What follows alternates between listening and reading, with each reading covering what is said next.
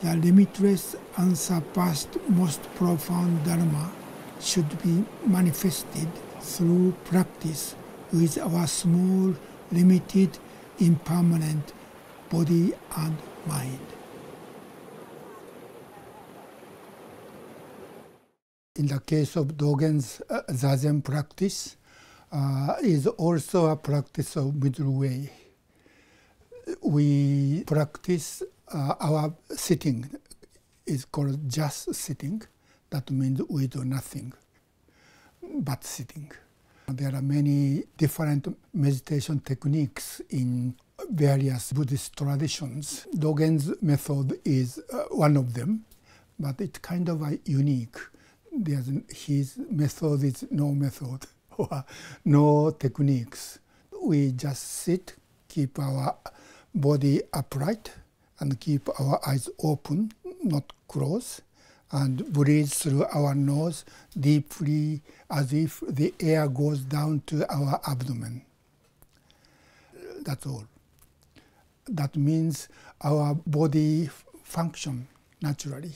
We don't stop, you know, breathing, and we don't pay attention anything, any particular object, but keep our eyes just uh, naturally open.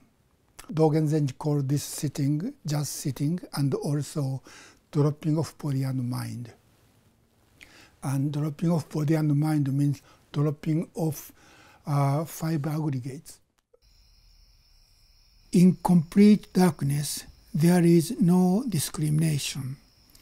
Our body and mind work together as one. The Heart Sutra says there are no eyes, no ears, no nose, no tongue, no anything. Because they are not independent, they work together as one. And there is no distinction between eye or nose or tongue.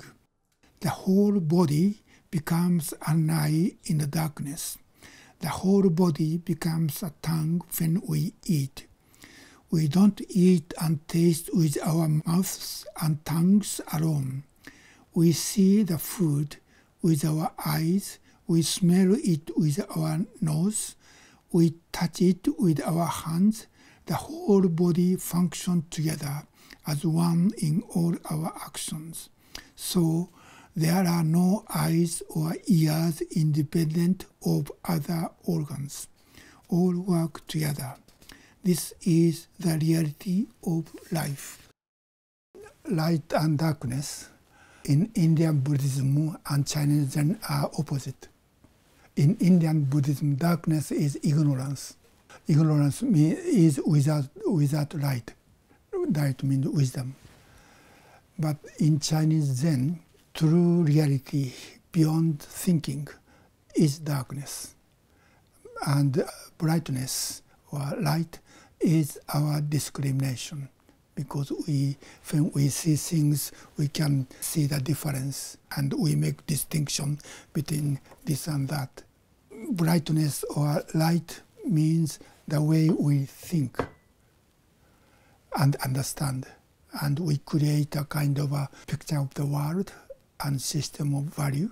That is how we live in a conventional way darkness is beyond thinking or beyond discrimination. That is in Chinese Zen called nothingness or emptiness. That is beyond our thought can reach. That is darkness. In our Zazen, you know, our thoughts are coming and going. Thinking our light is there, but we let go open our hand, we don't grasp. Uh, this is darkness. So within our zazen, light and darkness are together. They don't negate each other. They are interpenetrating. Even though I'm thinking, but I'm living life before thinking. Even though we are living beyond thinking, still we are thinking.